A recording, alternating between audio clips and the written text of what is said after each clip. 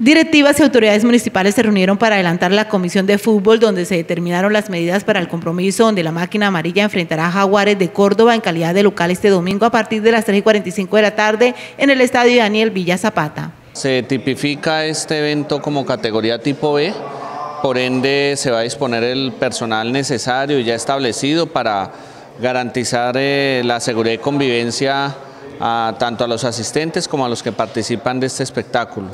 Eh, también cabe anotar el tema de la apertura de la tribuna oriental que demandará desde luego un dispositivo especial para, para cubrir este, este sector. Entre las medidas dadas a conocer, las autoridades indican que es importante llegar temprano al estadio, por lo que las puertas se abrirán a partir de las dos y media de la tarde. No se permite el ingreso de bebidas alcohólicas ni personas en estado de embriaguez. Se prohíbe el ingreso de mujeres en estado de embarazo. Se va a habilitar el ingreso al estadio 2 y 30 de la tarde, siempre recalcándole a la a los hinchas y a las barras el buen comportamiento en las tribunas.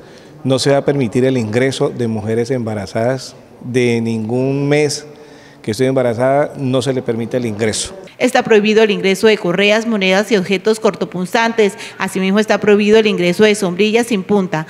La barra de la Alianza Petrolera, que estará ubicada en la tribuna oriental, podrá ingresar instrumentos musicales, banderas sin astas, trapos y extintores. Posiblemente el ingreso de algunos seguidores visitantes, los cuales se van a ubicar en la tribuna occidental, eh, en el sector sur.